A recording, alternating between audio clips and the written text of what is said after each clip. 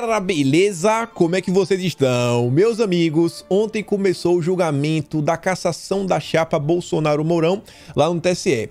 E até o momento, dos ministros que votaram, todos foram contrários à cassação da chapa. Ninguém é a favor, faltam elementos, olha só, né? A gente vai comentar sobre isso e ainda quero trazer um destaque algumas coisas que foram ditas aí durante o voto do ministro Luiz Felipe Salomão.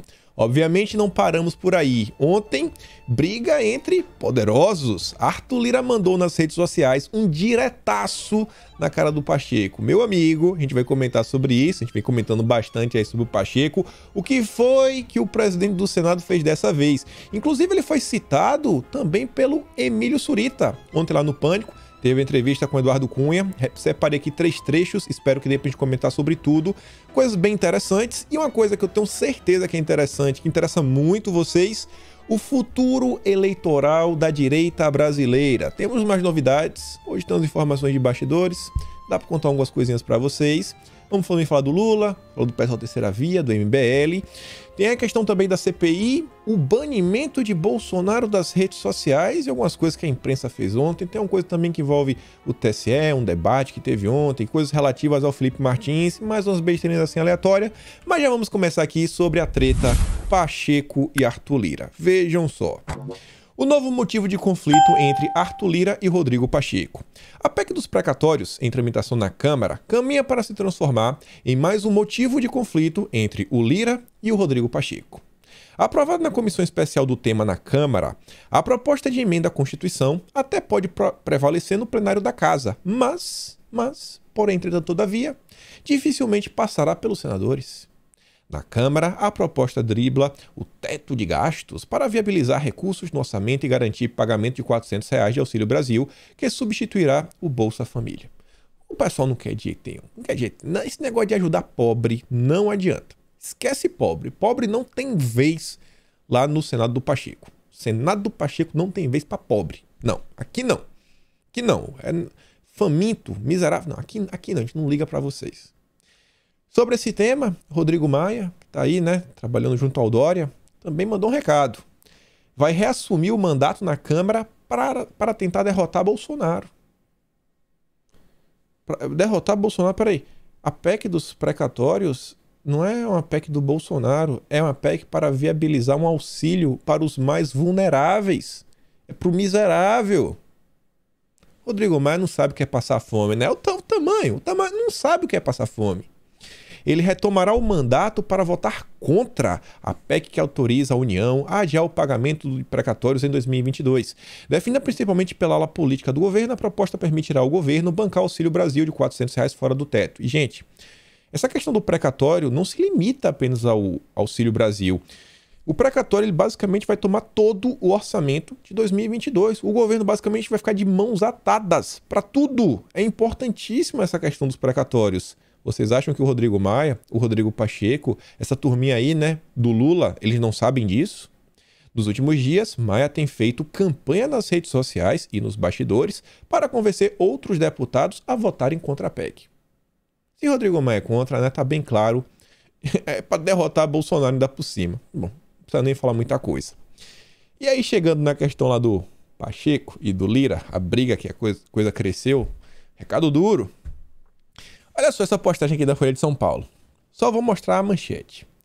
Filiação ao PSD recoloca Pacheco no tabuleiro político. Quando foi que o Pacheco saiu do tabuleiro político? Teve, algum momento que ele saiu? E põe na mira de apoiadores de Bolsonaro. Pronto. Meu Deus, agora os bolsomínios estão indo atrás de Pacheco.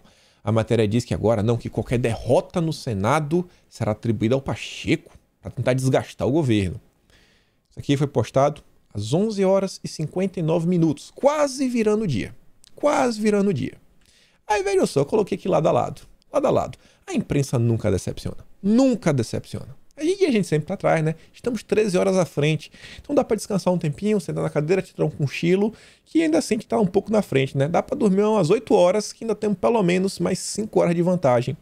Ontem, às 9h35, peguei a postagem do Lira e fiz o seguinte comentário. Lira partiu para o confronto aberto contra o Pacheco. Podem esperar reação da imprensa para ajudar o Senado a destruir o Brasil. Ainda mais agora que já é público a articulação de, para Pacheco, serviço do Lula. Vão destruir o país até 2022 com a ajuda da imprensa. Isso aqui foi às 9h35 da noite. O que, é que a Folha de São Paulo fez? Peraí, eu vou entrar em campo. Eu vou entrar em campo para proteger o Rodrigo Pacheco, nosso candidato, o vice do Lula. A avaliação do partido é que o presidente do Senado será acusado de agir na casa por interesses eleitorais. É? Ninguém sabe disso. Ninguém, ninguém. E olha o que o Lira falou para o Rodrigo Pacheco. Não podemos ser insensíveis. 20 milhões de famílias sofrem com os rebotes da pandemia. Fome, inflação mundial. Olha essa segunda palavra. Inflação mundial. Inflação mundial. O Lira, o Lira já deu aquela, já se blindou. Se blindou. Se ele botar só inflação, ia cair na pancada falando a inflação é culpa do Bolsonaro. A inflação mundial também é culpa de Bolsonaro. Foi safa, postagem safa. Aumento das commodities, de novo, né? No, ah, os aumento de preços, aumento de preço é culpa de Bolsonaro, gasolina 7, não. Commodities, elas subiram. Isso impacta no Brasil. Crise energética é internacional, combustível nas alturas. A Câmara vota nesta quarta-feira a PEC dos precatórios, que abre caminho para um auxílio temporário até dezembro do ano que vem. Mas o auxílio permanente virá da mudança no imposto de renda e nos dividendos que está no Senado. Quem também falou sobre imposto de renda? Paulo Guedes. Você vê que está um discurso relativamente alinhado. Não estou falando isso aí à toa. E vejam só, Pacheco não se dá por satisfeito com tudo que ele está fazendo.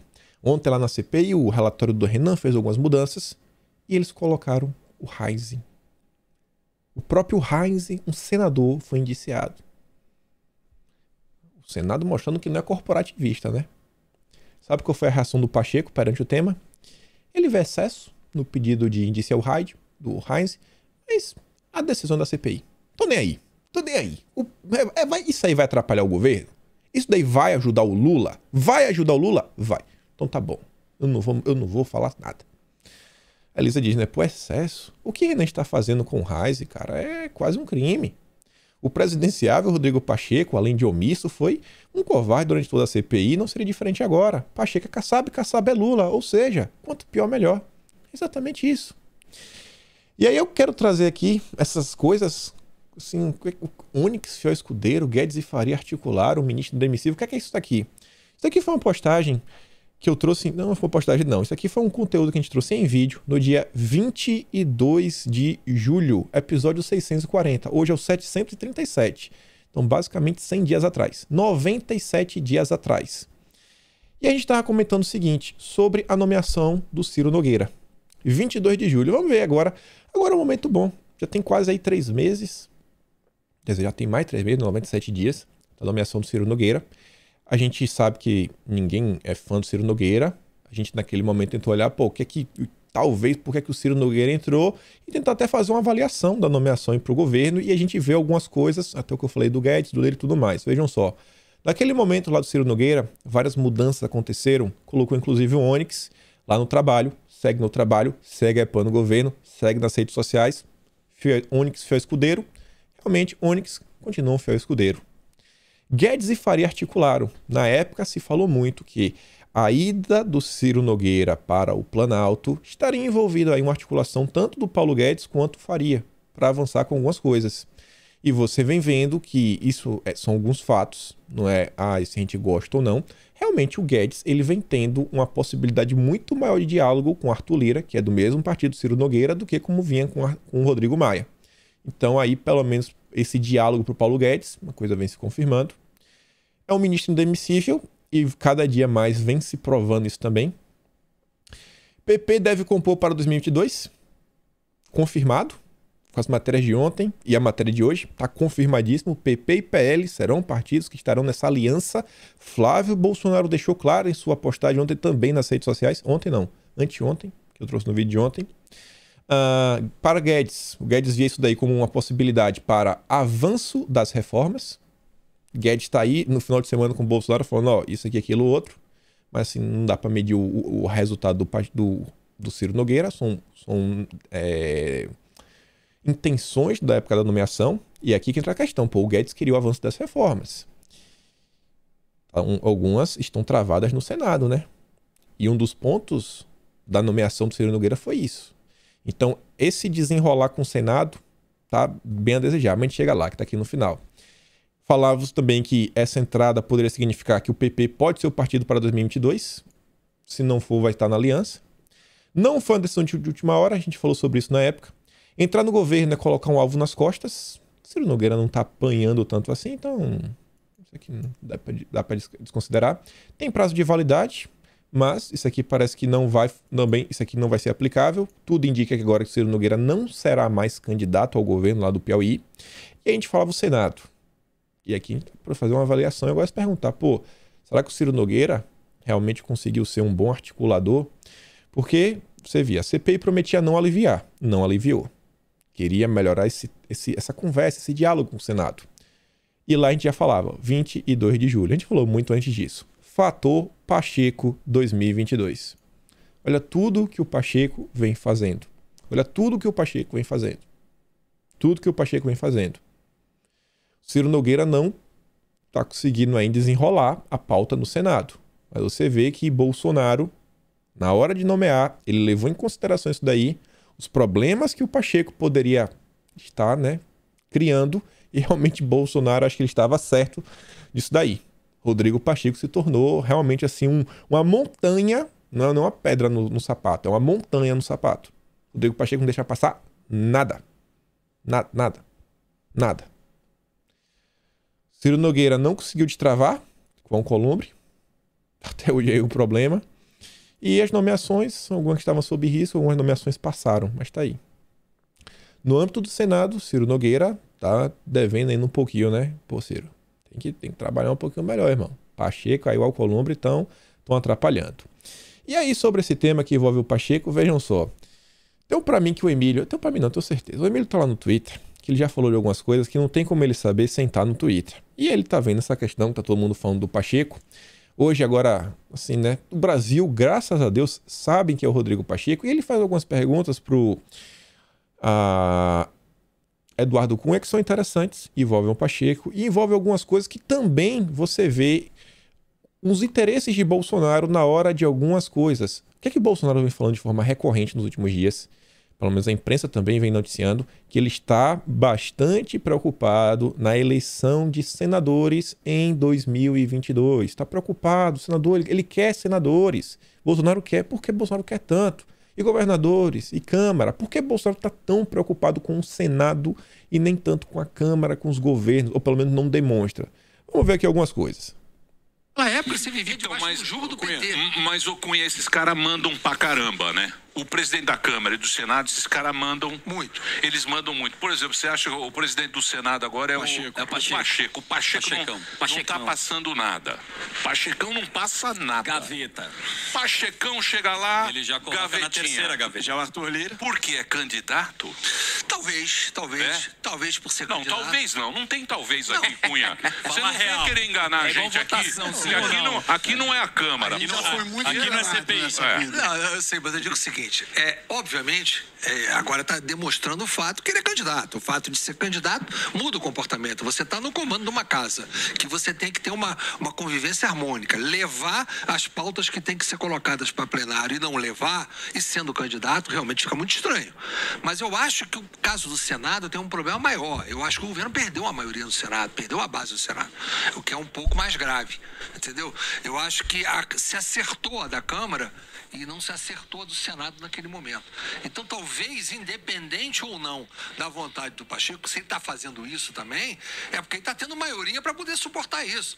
Porque eu não conseguiria, como presidente da Câmara, dizer eu não quero, eu não quero, eu não quero. Você perde a governabilidade da casa.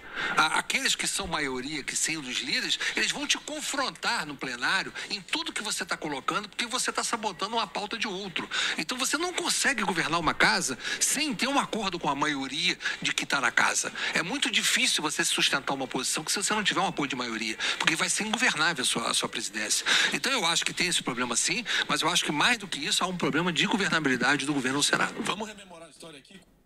Problema de governabilidade do governo no Senado. A Câmara conseguiu resolver. Você viu, né? O presidente ele se debruçou bastante durante esse processo aí da eleição da presidência da Câmara. Já o Senado Bolsonaro não se, de, sabe, se debruçou, fez tantas movimentações, até porque realmente é uma situação bem complicada. Olha o Senado brasileiro, são 81 senadores. Meu amigo, e quando você olha para os 81, fica bem difícil você manter qualquer tipo de conversa. E quando você ainda olha as bancadas, você vê que partidos como o próprio PSD do Pacheco tem bancada enorme. Você tem o Podemos, que beleza, fica meio lá, meio cá, na Câmara, uma parte do tempo até apoia o governo, em alguns estados aí, pelo menos lá no Mato Grosso, é Mato Grosso do Sul, acho que é Mato Grosso, vai ter o nosso deputado, ele até era PRF, pô, ele, ele foi até candidato a Senado de uma vez, o Medeiros, o Medeiros, pô, o cara é bolsonarista, só tem tempo, tempo todo é apoiando o presidente, mas, pô, PT tá bancada grande, MDB tem uma bancada grande, então, pô, o Bolsonaro deixou de lado, até porque, assim, cara, tá difícil aqui, é melhor focar na Câmara, e aí você vê por que Bolsonaro tá tão preocupado em eleger senadores em 2022. Bolsonaro, eu tenho certeza que Bolsonaro sabe o seguinte, cara, os ventos do Brasil mostram que a Câmara, na pior das hipóteses, deve seguir a mesma tendência do que tem hoje. Do jeito que está hoje o campo, eu consigo jogar. Jogo solto. A gente já viu aqui como é que funciona. Rodrigo Maia perdeu, perdeu assim de forma cavalar. Foi 310 votos, acho que assim, o Lira versus o Baleia Rossi. Tá conseguindo manter o diálogo, tá conseguindo avançar com muita coisa. Agora o problema tá o quê? Senado. Senado. Ainda que não tenha maioria, a gente tem que ter uma quantidade que, pelo menos, cara, vai fazer confusão aqui dentro. Fazer confusão. Tem uma quantidade de senadores, pô, para pelo menos virar né, uma minoria. Pô, a gente tem aqui, sei lá, conseguimos 27 assinaturas, a gente pode protocolar uma CPI, temos números para isso. Começar a conversar, botar coisa para andar. O Senado é o grande calcanhar de Aquiles do governo hoje, né? No que diz respeito à tramitação da pauta legislativa. É o Pacheco. A gente vai comentar ainda mais aqui sobre essa entrevista, mas vamos voltar aqui para falar um pouco do Senado da CPI. Renan Calheiros ontem colocou aqui uma coisa. A Realiza colocou um recorte que é inacreditável.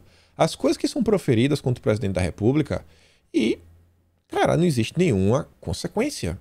Não que eu exija uma consequência.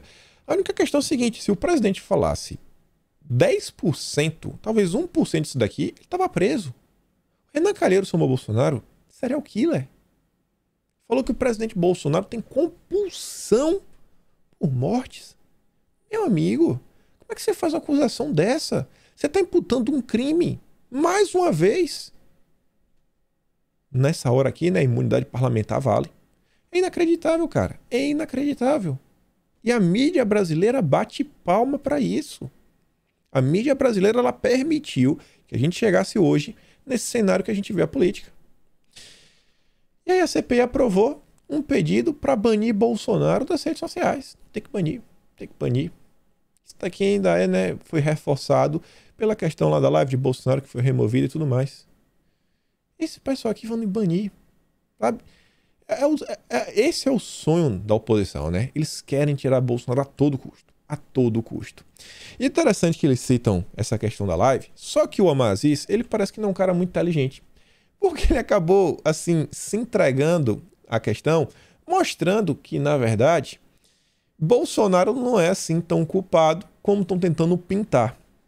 Vejam só isso daqui, né? Vejam a fala do nosso glorioso Omar Aziz. Eu tô até achando que ele está tentando defender Bolsonaro, né? Olha só.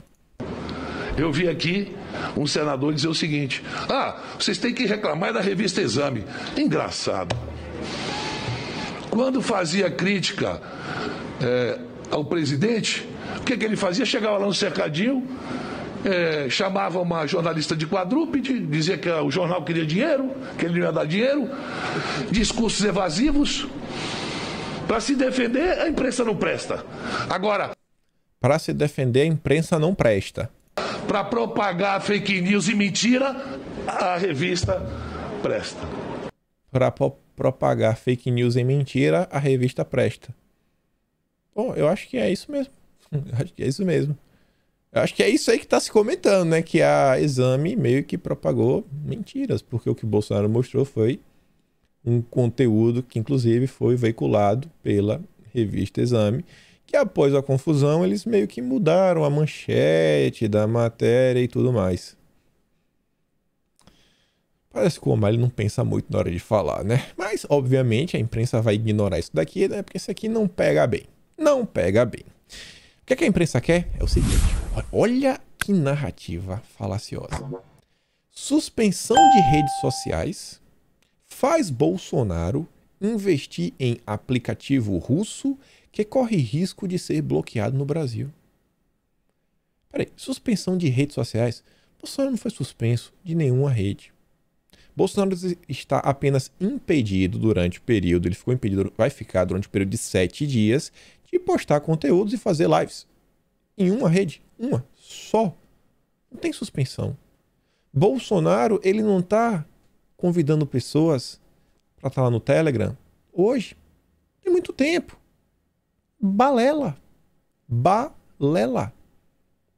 O próprio presidente responde aqui a gloriosa Bela Megali, que foi quem escreveu a matéria. A jornalista aqui tem tudo sobre o Sérgio Moro em primeira mão. Ele fala o seguinte, ó: agradeço a divulgação, mesmo que os motivos expostos sejam fake news. Com o intuito de ampliar o leque de redes de informações, siga-nos também em mais esta rede social e deixa o link do Telegram. E a imprensa não se dá por satisfeita. O Guilherme Amado, ele tinha que abrir uma escola. Porque assim, cara, faz. Ele, ele, ele supera. Ele deixa toda a imprensa assim, ó, no rastro. Ele, ele tá mostrando pro Diogo Mainardi, o mamateiro, o maior de todos, que assim, cara, você é principiante. É assim que se faz uma narrativa. olha o que o cara veio fazer. Olha a manchete. Suspenso no YouTube. Bolsonaro encontra brecha para publicar vídeo. Pronto. Bolsonaro criminoso. Criminoso, tá aí, né? Tentando burlar né, uma medida cautelar de segurança né, para ele não postar mais besteiras. Driblando os termos de uso, pode até ser suspenso, né? Aí você vai ver a matéria. Um dia após Jair Bolsonaro ser suspenso e sofrer penalidade e ficar uma semana sem poder publicar vídeos na plataforma, o presidente voltou a publicar na manhã dessa terça um vídeo em seu canal. Meu, é um criminoso. Segundo o YouTube, no entanto, a publicação não desrespeita a proibição imposta ao presidente. Vamos falar de novo? A publicação não desrespeita a proibição imposta ao presidente. Uma vez que o vídeo já estava no canal, mas com selo privado, ou seja, só não estava visível ao público. O vídeo estava pronto para ir pro ar, que é o vídeo sobre as obras que foram entregues lá relativas, se eu não me engano, à questão da transposição do Rio São Francisco. Só isso, um vídeo institucional de entrega de obras do governo federal. Guilherme, esse cara ele vem se superando de uma forma. O Diogo Mainardi tá com inveja, irmão. Essa, você tá sensacional. É inacreditável. Mas aquela matéria. Vocês já, entenderam isso daí? Eu vejo assim que eu vejo alguns de vocês aqui, porque aparece a pessoa nos comentários aqui no vídeo do YouTube. Eu vejo um comentário ou outro. Às vezes eu tenho uma memória boa para algumas coisas. Eu passo nas redes sociais, eu vejo o mesmo nome, às vezes assim, até a mesma foto, a pessoa comentando lá no Twitter em algum lugar. Cara, não importa a quantidade de views. Eles vão usar isso daí para criar narrativa e jogar contra Bolsonaro. Ontem teve uma postagem, inclusive, sobre o Trump. Eu vi muita gente que não estava comemorando, falar, putz, nesse momento, mais essa confusão, lá vem agora, isso aí vai fortalecer a narrativa que a imprensa vem criando. Eu nem trouxe isso aqui, a questão do Trump, porque deixar de lado. Eu fico pensando, ó, a galera tá começando a ficar ligeira. Não importa se muitas pessoas vão ler ou não. A galera já entendeu como é que funciona a imprensa no Brasil. E ainda vem a Folha de São Paulo. YouTube analisa se Bolsonaro burlou as regras mais uma vez ao publicar vídeo no canal do filho. Pronto. O que foi que Bolsonaro fez? YouTube analisa se Bolsonaro infringiu as regras ao publicar um vídeo nesta terça na conta do seu filho, o vereador Carlos Bolsonaro. Cara, o vídeo do Bolsonaro foi publicado conta do Carlos. Assim, ninguém, ninguém, assim, pode botar na conta. O cara é o presidente da República, assim, se alguém postar amanhã ou hoje um vídeo de Bolsonaro no meio da rua lá, ele deu um bateu um papo, bateu entrevista, também não pode. Ele não pode também dar entrevistas. Cara, assim, olha o nível, assim, os jornais estão forçando a perseguição, tá? A oposição brasileira sabe, na quinta marcha do carro, a 200 km por hora, tentando derrubar Bolsonaro das redes sociais. O cara não pode existir, ele não pode ter acesso à população brasileira. A Elisa se deu o trabalho de mostrar o porquê. Por que eles querem tanto derrubar das redes sociais Jair Messias Bolsonaro? Quando você compara Bolsonaro com seu principal adversário, o Lulinha, paz e amor, que a imprensa ama e adora de paixão, você vê, ó, no YouTube. Bolsonaro tem 13,56 milhões de seguidores. O Lula, 360 mil. Ciro Gomes, 313. Você vai pro Facebook. Bonorinho, quase 11 milhões. 10 milhões 997 mil. Já o Lulinha, 4 milhões. 4 milha. Ciro Gomes, 800 mil. Quando você vai no Instagram, Bonorinho, quase 19 milhões de seguidores. Lulinha, paz e amor, 3.3. Ciro Gomes, 1.1 no traço. E quando vai no Telegram, meu amigo, Bonorinho, 1 milhão e 44 mil. 43 mil do Lula, 19 mil do Ciro Gomes. Em números. Esse é o medo. Esse é o medo. Eles sabem que o povo brasileiro está lá, recebendo informação do que realmente acontece do governo. E principalmente o Bolsonaro vem utilizando as redes sociais para mostrar as entregas, obras, grandes feitos do governo federal. Isso não pode, não pode ganhar repercussão. Não, não pode. Não pode.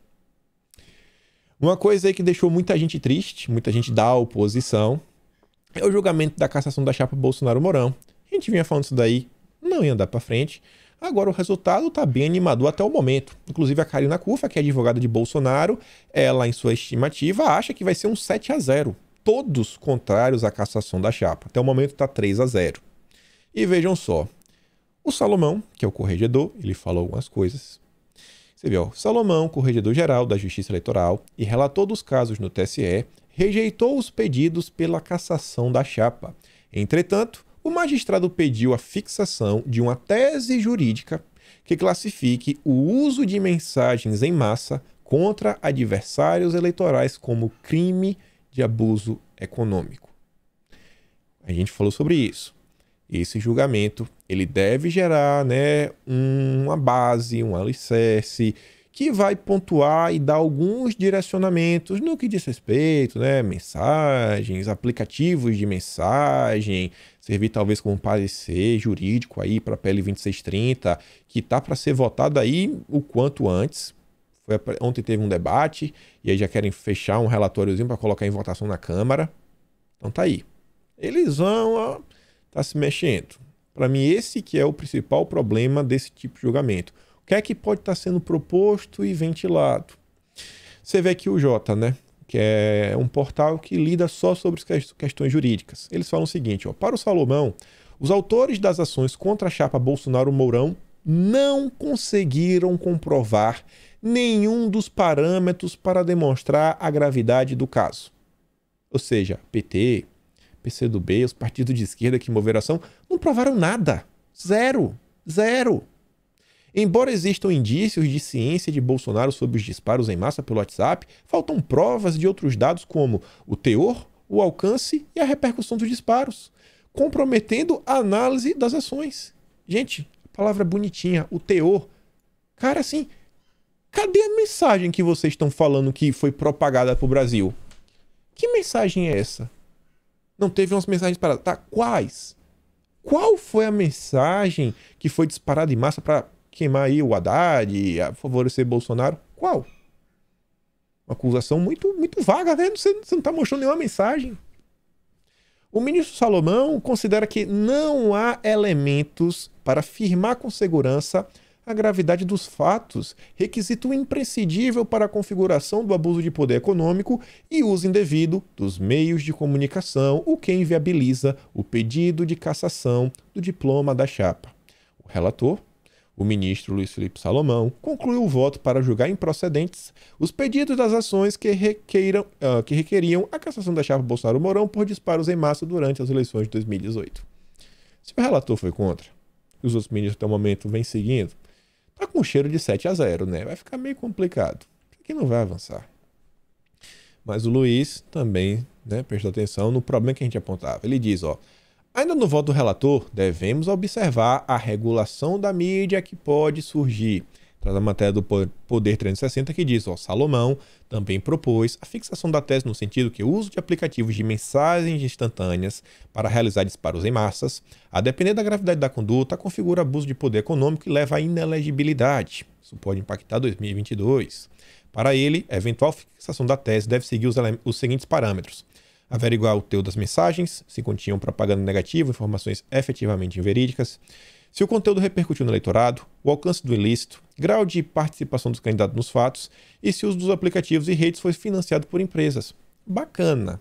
Se seguir isso daqui, bacana, tem nada demais. Seguir isso daqui não tem nada demais, realmente. A gente não pode achar, também achar normal, né? Ter um, um compartilhamento maluco, dinheiro assim entrando na vera para mandar mensagem mentirosa. Também não pode ser, ai, não existe mentiras. Que... Não, pô, beleza.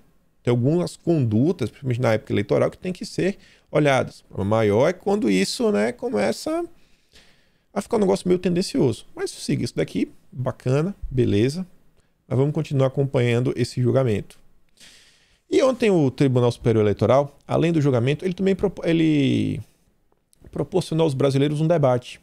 O Leandro Ruxa fala o seguinte: Estava dando uma olhada na lista de palestrantes de um seminário que o TSE promove chamado Desinformação e Eleições e não encontrei um único nome que tenha perfil não alinhado à esquerda.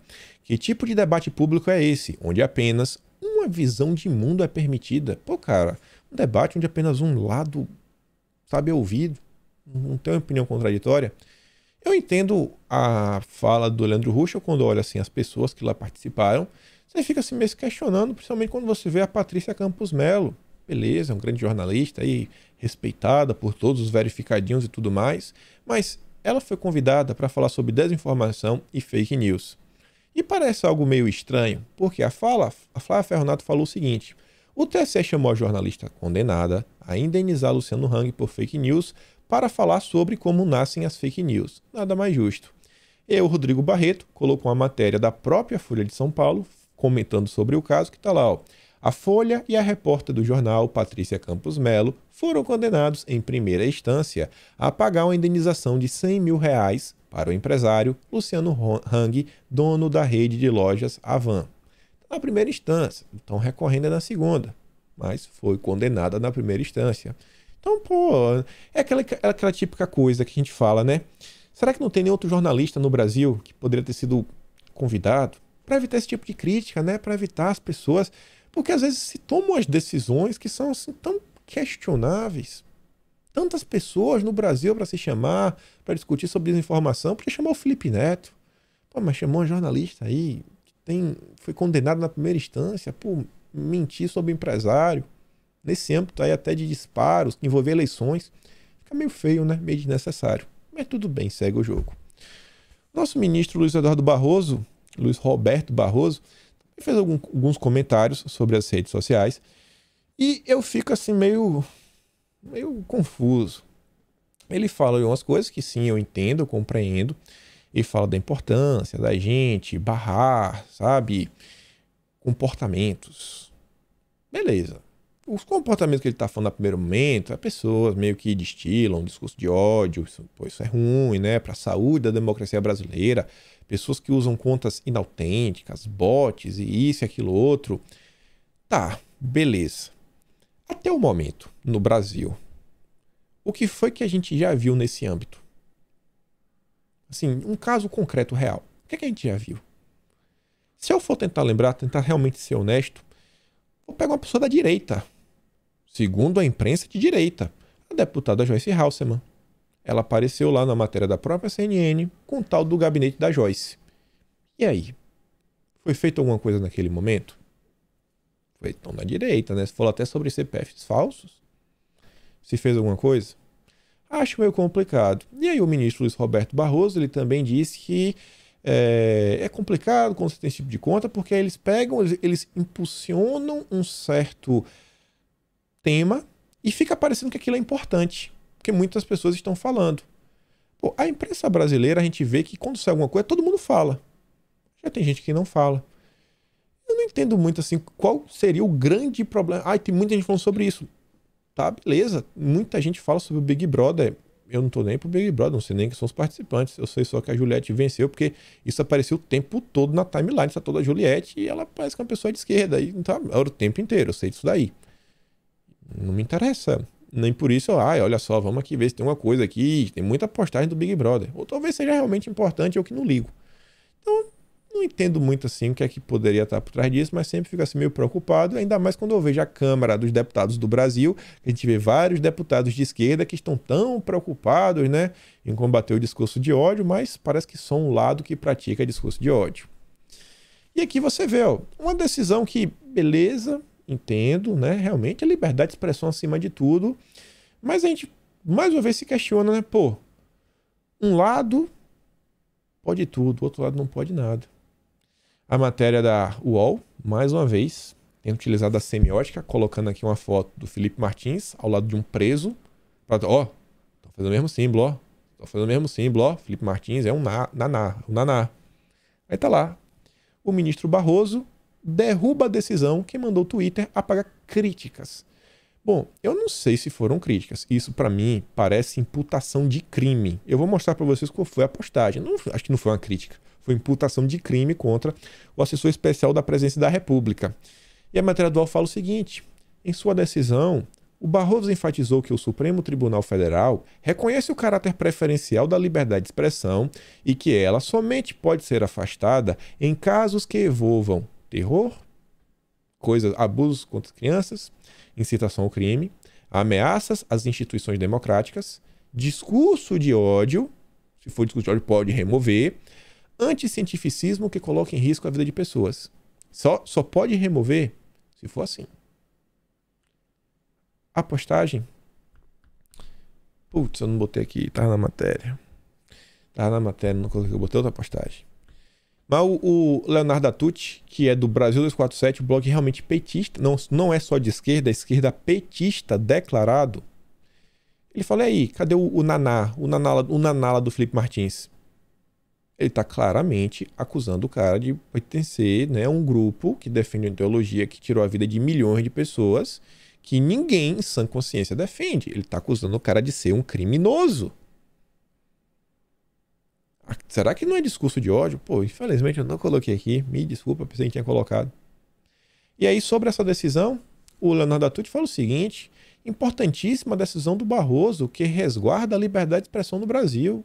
Os tweets que fiz foram removidos e não faz sentido postar novamente, novamente porque estão fora do, de contexto. Mas a decisão ilumina o futuro.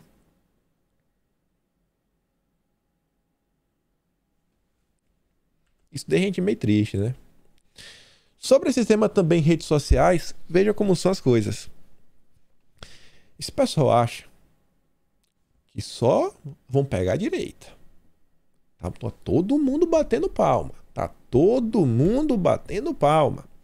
Aí um grupo que teve até recentemente no Brasil, que é o Progressive International, Internacional Progressista, teve no Brasil para criticar Bolsonaro, defender a Amazônia, estavam ontem dando chilique lá no Telegram, ou no Twitter, porque o Novara Media é um parceiro deles, ou seja, um parceiro, é, um, é uma plataforma de mídia da extrema esquerda, ligada ao grupo de extrema esquerda Progressive International. Eles estão falando, ó, é, é, um absurdo a censura, sabe? Uh, do parceiro de mídia, sabe? Pela plataforma aqui do vídeo. Não, não dá. Tem que voltar. Lá, a gente foi deletado sem nenhum avi aviso, sem nenhuma explicação. Como assim? Estamos entre, entre as 50 maiores mídias, sabe, canais aqui do Reino Unido. Absurdo o que fizeram com a gente. No dos outros sempre é refresco. Quando é de direita, todo mundo bate palma. A esquerda achou que não ia chegar, no, não ia, não ia chegar neles. Você vê esse cara aqui, ó americano, o Rafa Glau pegou dois posts, um em 20 de junho do ano passado, agora um pouco mais depois de um ano, né? Ele viu que, que doeu. Aqui é o típico comunista brasileiro. Não é censura quando a empresa privada decide removê-lo de sua plataforma. Aqui está falando lá do Trump. Você não tem o direito inalienável de uma conta no Twitter. Não problema não. A empresa privada faz o que quiser.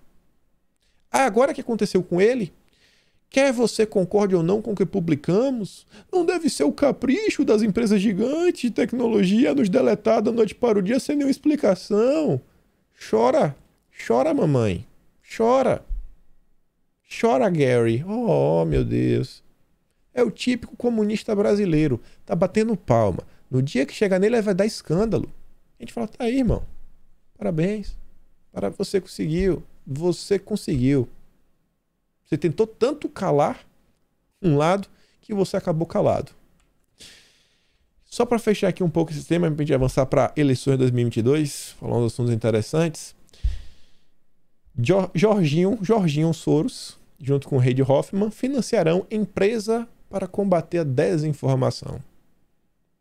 Tem como dar errado? Bom, eu acho que não tem como dar certo, né? Dar certo não tem como. E aí vamos voltar aqui pro Cunha, a gente comentar sobre outra questão, que a gente vai falar de 2022. Eu não sei muito bem porque eu coloquei. Ah, lembrei porque eu coloquei aqui.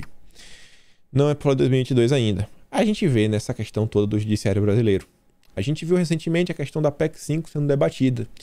E, vez ou outra, eu sempre falo assim, às vezes, como a direita brasileira tem uma certa carência de memória política, que é basicamente ser um conhecimento da história, que já aconteceu no passado.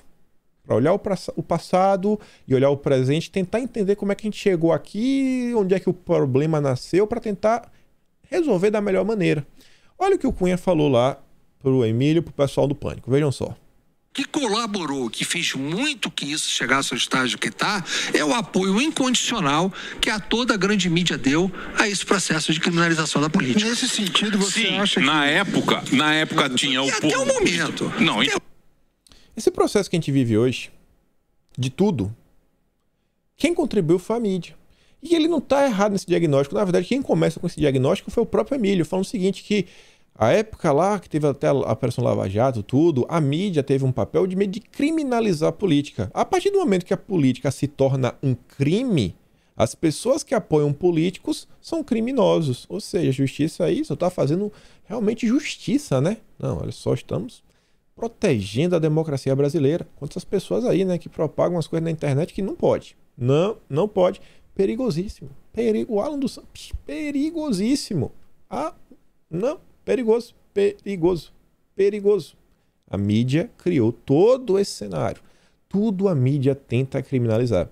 Eles tentam criminalizar Bolsonaro todo santo dia. Eles tentam criminalizar os apoiadores do governo todo santo dia. Mas vamos continuar vendo o que ele tem a falar hoje. Ah, o do que que você fala? Em geral, geral. Você pega mesmo essa história do Ministério Público, você vai falar que vai controlar o Ministério Público, virou um, um cabo de guerra, como foi na época que você estava falando das manifestações, é, que começou em 2013 com o negócio do aumento da passagem aqui, aquelas manifestações sim, em São sim. Paulo, que tinha a PEC 37. O que, que era a PEC 37? Era a PEC de dar o poder de investigação para a polícia. A polícia fazia os inquéritos. É, é, não. Aí o Ministério Público fez uma campanha em cima daquela, que eu me lembro que o presidente da Câmara o Henrique Alves, ele pegou a PEC e ele mesmo botou a PEC para votar no outro dia e derrotou a PEC, obrigando todo mundo praticamente a votar contra a PEC. Sim, e eu lembro PEC, que é dos, dos procuradores. É, a PEC não era ruim, não, a PEC era boa, era correta. Então o que aconteceu? Foi uma pressão política que entregou. Mesma forma agora. A capacidade que eles tinham hoje, na, naquela época, era muito maior que tinha de organizado que hoje. Hoje, quando você vê Tom Dallagnol defendendo é, contra a PEC, já ajudou a aprovar a PEC, ajuda a aprovar. É, é melhor que ele fale muito. Quanto mais ele falar, melhor. Agora, algum controle, por que se se o Ministério Público, que nem poder é, ele não é um poder. Uhum. Ele quer se comportar como poder sem controle? Você pode discutir que o controle A não é o correto, o B não é o correto, vai discutir qual é o controle, mas algum controle tem que ter. É uma coisa absurda a gente ficar sem controle do Ministério Público. A prova está aí que o, esse procurador que foi demitido agora é, do, do outdoor lá em Curitiba era o procurador que, que, que cuidava do meu caso. Era o que me confrontava. Era, então, é esse cara. Você vê, os problemas com o Ministério Público não são de agora. E se pergunta, pô, o Brasil não tem jeito. Parece que não tem jeito, tudo dá errado. Pelo menos aí já tem, já, já nos últimos, nesse ano tivemos duas propostas para tentar colocar alguma coisinha, algum freiozinho no Ministério Público. Teve essa PEC 37 ano passado, nem lembrar dos procuradores, os policiais poderem fazer os inquéritos. Já conversei com os policiais, tem um policial na família e, assim, normalmente o pessoal reclama até do Ministério Público. Fala assim, pô, o poder realmente de investigação muitas vezes está na polícia, é a polícia que está lá, no dia a dia, na pista, conhece os pormenores. Tem coisa que, beleza, às vezes é melhor, realmente passa o Ministério Público, crimes do colarinho branco tudo mais. Mas a polícia também bem capacitada, bem capacitada, bem capacitada. E quantas vezes a coisa não vai, por isso, por ela, aquilo, outro. A gente pelo menos percebe que quando ele fala do Detona Dallagnol, eu acho interessante esse diagnóstico. Hoje, pelo menos assim, uma parte das pessoas no Brasil entende que, cara, olha só, esse pessoal aqui, beleza, eles lutam contra a justiça, mas tem um interessezinho político aqui. E a gente começa a entender que entre falar que vai combater a corrupção e realmente combater a corrupção tem, assim, né, uma certa distância entre uma coisa e outra. Então, cada vez mais as pessoas elas vêm despertando para a política. E acho que depois o Emílio fala sobre isso, está no terceiro áudio, como Bolsonaro. Isso, isso que é interessante. Bolsonaro, ele não, ele não é apenas um presidente, mas ele é um professor. Porque o miserável do presidente, Bolsonaro, ele faz um monte de maluco se interessar em acompanhar a política brasileira. E aí a sociedade brasileira está ficando cada vez mais madura, a ponto que hoje a gente comenta sobre o presidente da Câmara, o presidente do Senado, o que está acontecendo nas comissões. A gente está comentando sobre uma PL específica, ó, aquele artigo tal, e aquele ali, ó. A gente está prestando atenção em julgamentos para ver o que pode estar tá saindo nos autos que vai impactar no. Olha, olha que discussão maluca a gente está tendo nos anos de 2021. Quando na minha vida eu esperei que eu ia estar comentando sobre isso. Nunca, nunca. É Bolsonaro, né? Ah, Bol esse, esse, cara, esse, esse é um cara. Que fala desse maluco, né? É Bolsonaro, cara. Ele tem um poder assim gravitacional ao redor dele que puxa todo mundo pro debate. Goste você, o cara, ele tem essa aura ao redor dele. Não tem o que falar. E você vê ainda no âmbito aí, né? Mentiras, desinformação. Bonorinho, Jair Messias Bolsonaro derrotou governadores no Supremo em batalha por fake news na pandemia. Sabe o que foi que aconteceu? Mandatários acionaram o presidente por mentir sobre repasses federais aos estados e atentar contra o pacto federativo. Bolsonaro falou no Twitter dele, colocou quanto dinheiro ele mandou para cada estado. Aí os governadores foram falar: ah, vamos docionar Bolsonaro por propagação de fake news. E aí, nessa questão, os governadores foram derrotados. O choro é livre, né? O choro é livre. Você vê, Bolsonaro fala, ó, estamos mandando esse dinheiro aqui pro Estado, deixa as pessoas... Ih, rapaz, aquela história lá que Bolsonaro não liga pro povo, não, não cai bem, né? Não cola, né? Não cola, né? E sobre 2022? Estado de São Paulo aí tá, tá bagunçado, tá bagunçado, bagunçado. E é o estado mais importante do Brasil, é o maior PIB do Brasil. E aí a esquerda tem dois candidatos, tem dois e meio, três. Assim, vai falar que o Márcio França ele não é um cara de esquerda comunista, tipo um Haddad, um Boulos da vida. Ele é um cara de esquerda, não esquerda esquerda para valer puro sangue. Ele é aquele esquerda que se disfarça para fingir que não é de esquerda. Mas você vê, a esquerdona mesmo, que tá lá disputando, que é PT e PSOL, meio que uma briga de leve. Na verdade, não, um, assim, um, botando um ponto. Não, não vai rolar. Bolos, não vai rolar. Não vai rolar. Quer ser deputado, vai ser deputado. Não vai te apoiar, irmão. Você não é candidato. Não é sua hora. Beleza? Senta lá no, no banquinho. Você tá novo. Você não vai ser o governador do estado de São Paulo. Você não vai ter apoio do PT. Você não vai ganhar, cara. A gente não vai perder tempo com você. Você vê, o ex-ministro e ex-prefeito de São Paulo, Fernando Haddad, afirmou nessa terça que descarta uma união da esquerda na largada da disputa pelo governo do Estado em 2022. Haddad considera que não há espaço para uma campanha conjunta, conjunta com o pré-candidato do PSOL, Guilherme Boulos, no primeiro turno. Não vai agregar nada. São os mesmos votos da esquerda. O PT ele não vai conseguir romper aquele limiar. O vice tanto presidencial quanto dos governos, é importante para trazer mais votos. Tentar dar uma cara um pouco mais diferente para a chapa, né? Pô, não é o Haddad, é um Haddad, é um Haddad mais moderado. O que é que o PT está tentando fazer em São Paulo? Tentando trazer o Márcio França para o partido. E trazer o Márcio França, inclusive, atrapalha os planos do, do Alckmin. Se o Haddad traz o Márcio França, cara, o Alckmin ele não vai para o segundo turno. Não vai ter, não vai ter força para o segundo turno. Eu, eu, eu quero acreditar que a gente vai ter uma unidade de direito em São Paulo. Cumprindo a agenda de pré-candidato, o petista participou do evento no Sindicato dos Hospitais de São Paulo. Para 2022, a estratégia do PT será abrir mão de candidaturas a governos estaduais para privilegiar alianças no plano nacional e reforçar o arco de apoios à futura candidatura do Lula. Essa tática será revista em estados onde a aposta da legenda tem a viabilidade de chegar com boas chances ao segundo turno, como se considera que seja o caso de Haddad lá em São Paulo, ainda mais se ele vir com Márcio França. Se o Haddad vier com Márcio França, está no segundo turno, assim, de forma bem clara. E o Alckmin, que aí vai ser atrapalhado nessa situação. Antes de chegar no Alckmin, eu vi essa postagem aqui ontem, achei interessante. Uma pessoa tinha colocado isso daqui no âmbito lá de questões de que envolvia campanha antecipada. O cachorro tá latindo, vai ficar latindo. 5 de outubro, o Lula, Lula se encontrou com o pessoal do PCdoB e falou o seguinte: fechando o dia intenso da agenda em reunião com os companheiros do PCdoB. Na pauta, o enfrentamento ao governo Bolsonaro e o fortalecimento de uma bancada progressista no Congresso. Estamos juntos nessa luta. O Lula focado em aumentar o tamanho da base no Congresso. Ontem eu falei, grava o número 205 e eu não falei sobre esse tema. Hoje a gente fala. Na verdade não é 205, é 206. 205 ali é o limite, mas vejam só. Alckmin faz reunião com o MBL para discutir candidatura no União Brasil. Alckmin apresentou um projeto dentro do União Brasil, ele nem sequer citou o PSD na conversa. O ex-governador ofereceu ao Mamãe Falei que retire sua candidatura ao governo e o apoie em 2022. Em troca, Arthur sairia candidato a deputado federal, ganharia apoio do Alckmin para disputar a prefeitura paulistana em 2024. Alckmin também disse que apoiaria Rubio Nunes, Kim Kataguiri e o Renan Santos estava nessa reunião. Lá atrás, falei, gente, o Mamãe Falei vai ser candidato.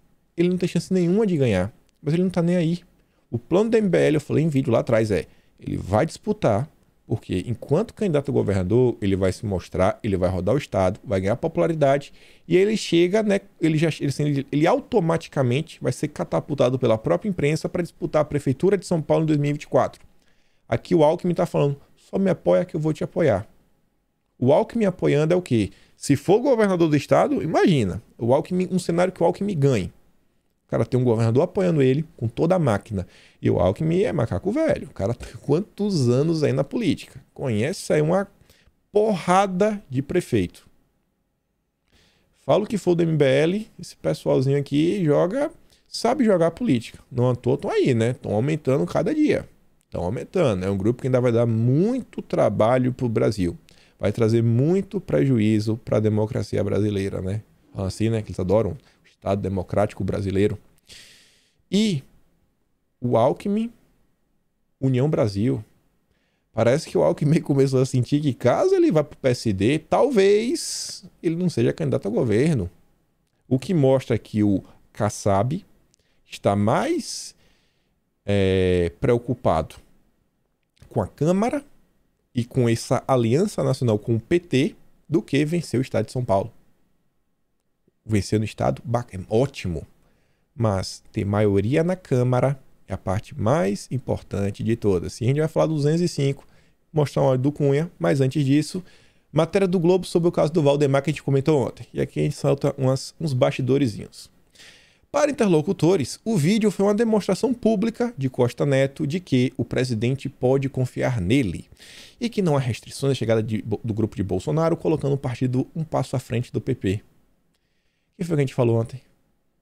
Estamos na frente da Globo também, né? Falou, ó, esse vídeo que o Valdemar fez, beleza. Meio que ele se rebaixa um pouco, se coloca numa posição inferior. O PP não fez isso em nenhum momento. Mas, porém, entretanto, todavia, esse vídeo aí vai mandar uma mensagem para a classe política brasileira que o, P, o PL tá fechado com o Bolsonaro.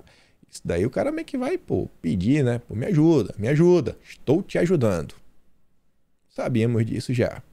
O avanço das conversas do, é, do PL com Bolsonaro ocorre em paralelo à construção do novo Auxílio Brasil, que terá benefício mínimo de 400 reais em 2022. A projeção é que o programa tem impactos especialmente no Nordeste, que reunirá a maior parte dos beneficiários.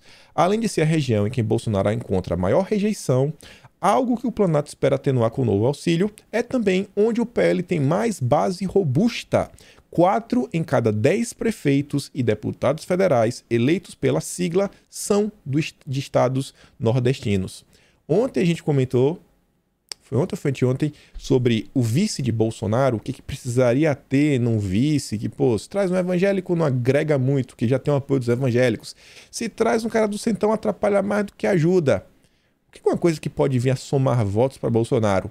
Alguém que seja talvez popular no Nordeste, ou que pelo menos os nordestinos consigam se identificar. A gente, eu comentei ontem, para mim vai vir aí, se Bolsonaro sair presidente pelo PP, vem um vice pelo PL, se vir pelo PP, sai o vice, ao contrário. Você tá entendendo? PL aí tem, né, um trânsito bom no Nordeste. Parece que esse cenário vem. Bolsonaro no PP, vice, quem sabe alguém do Nordeste saindo lá pelo PL. Reservadamente, integrantes do PL avaliam que Costa Neto já contabiliza prováveis defecções no Nordeste e também no Norte, devido a alianças de lideranças locais como o PT, como o PT do ex do Lula. Por outro lado, na visão desses correligionários, o cacique do PL espera compensar este ônus, já que vai perder gente aí que tem o apoio do Lula, pela filiação de Bolsonaro com o bônus de arrecadar votos da base bolsonarista. Em São Paulo, por exemplo, mesmo já tendo oito deputados, o partido vê a chance de ampliar sua bancada em 2022 com a entrada de Eduardo Bolsonaro e outros aliados do presidente. Se Eduardo vai entrar, eu não sei. Mas posso bater o martelo que já temos deputados que estão garantidos que irão para o PL. Temos já alguns deputados que irão para o PL, dependendo da eleição de Bolsonaro. Posso bater o martelo. Quem? Vamos esperar aí as movimentações das próximas semanas. Essa questão de partidária aí avançou nos últimos dias. Informação aí, primeira mão. Vamos ter pessoas no PL. Está confirmado para 2022. Para compensar eventuais saídas, já estão no radar substituições por aliados do Planalto do Piauí. Um dos nomes cogitados no PL é o deputado federal Margarete Coelho do PP. Sai do PP, entra no PL, meio que para sair candidato aí no Piauí. No Amazonas, estado que o vice, o Marcelo Ramos, disse não tem nenhuma possibilidade de embarcar com Bolsonaro, né? ninguém aceitar. Uh, aliados de Bolsonaro defendem que o ex-ministro Alfredo Nascimento, aliado de Costa Neto, se candidata a deputado federal. Então tá vendo aí, montando alguns palanques para ter alguém ligado a Bolsonaro em todos os estados. Tentar formar um negócio aí parrudo. Vai ter gente. E, e Pode bater o martelo aí. Hoje, hoje já temos até pelo menos eu posso falar, pelo menos um candidato a governador que a direita volta sem torcer o nariz. E hoje ele sai pelo PL. Vota sem torcer o nariz. Paramos por Em qual estado? Temos um. Hoje. Pode mudar? Pode mudar. Hoje tem um PL. Ninguém votaria torcendo o nariz votaria feliz. Aí você vê, né? Inimigo do imunizante. Bolsonaro segura aliados graças ao auxílio.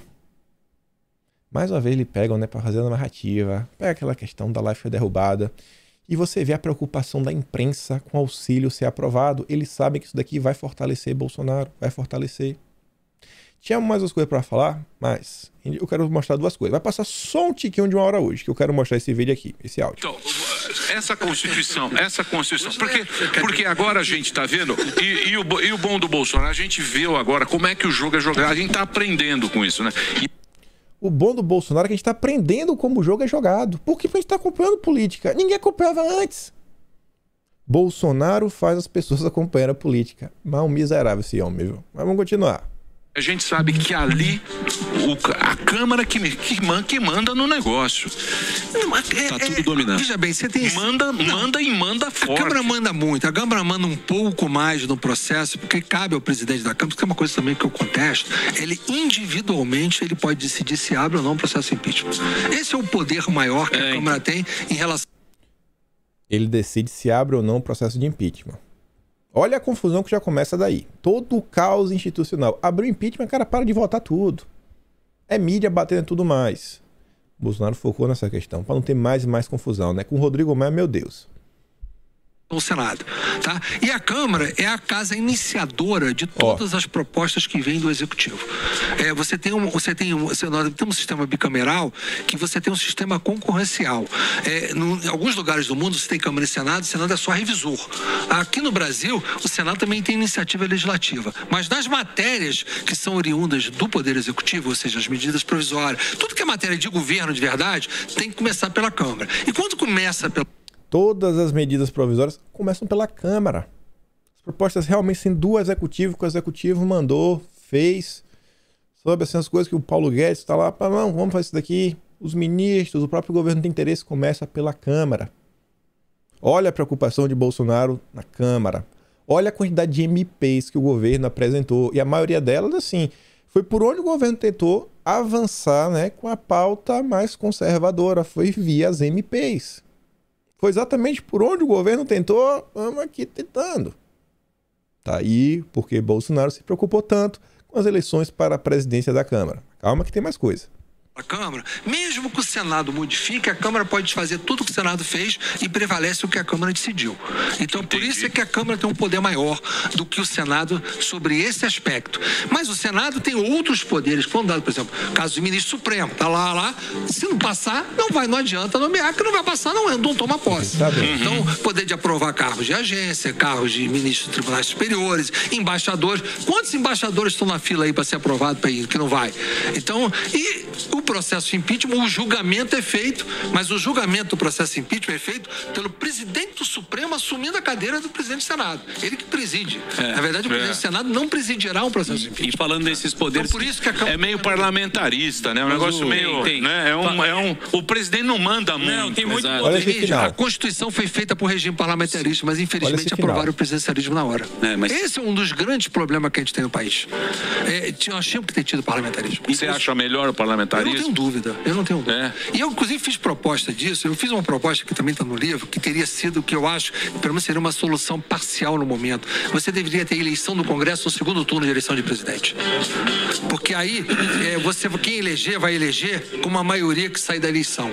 O que está feito hoje né? é que ninguém vai sair com maioria de eleição, vai ter todo mundo que cooptar uma base, querendo ou não querendo, senão no governo. E outro poder, o STF todo mundo tem que cooptar uma base, querendo ou não querendo, senão não governa. Muita gente às vezes critica Bolsonaro por ter se aproximado de certos grupos, como por exemplo o Centrão e tudo mais. Mas, gente, olhando a política de forma bem pragmática, bem assim, simples, preto no branco.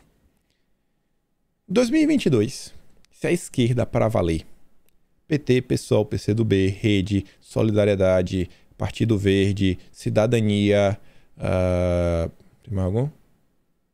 Deve ter mais algum. A esquerda para valer. Se eles tiverem 206 deputados eleitos, não tem reforma nenhuma que vai passar no Brasil. Nenhuma, zero. Por quê? A Câmara tem 513 deputados. 513. Para você aprovar uma PEC, você precisa de 308 votos.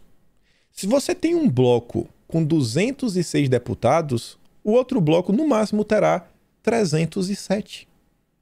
307 faz 206. Não vai aprovar nunca. Vai sempre ficar um voto de aprovar uma PEC. A preocupação de eleger uma bancada grande na Câmara não é apenas para aumentar o fundo partidário, que vai gerar mais pessoas sendo eleitas. A Câmara é onde está o coração da articulação política na hora de cobrar as coisas. O Senado é importante. Tem várias atribuições. Mas peraí, o governo quer algumas coisas via MP. As medidas provisórias do governo, todas dependem da Câmara. Quanto maior a sua bancada, mais importante ela é na matemática dos 308 votos. Se for o Centrão, o Centrão, quando realmente começou, que era o Centrão, que contava com a presença do DEM e do MDB antes do desembarque lá, né, desse pessoal, que depois só ficou dos partidos, mas quando estava o Centrão inicialmente, eles tinham, se eu não me engano, 226 deputados. Isso significava que nenhuma matéria que envolvesse uma PEC, uma grande reforma na Constituição brasileira, tinha como passar se o Centrão não quisesse. Não passa. Não passa. É ba... Não passa. Não passa. Hoje a esquerda no Brasil, a esquerda para valer vermelha, tem 132 deputados. Se eles saírem de 132 para 206, aí você pode botar a mão na cabeça e se preocupar. 132 não, tem uma folga. Mas olha só com quem o governo também vai ter que negociar. É muitas vezes fácil assim, ah, isso, aquilo, outro, blá blá blá, tititi. Mas não era assim, você chega assim na parte mais prática, Cara, nunca é tão simples. Só para terminar o vídeo de hoje, dá para falar outro momento. Mas eu vi uma postagem ontem que eu só quero compartilhar aqui com vocês. Já tem uma notícia boa para falar do governo, mas a gente fala amanhã. Que é isso daqui, ó. Roberto Mota ele veio ontem para falar o seguinte: aconteceu de novo. Acontece ao menos uma vez por semana.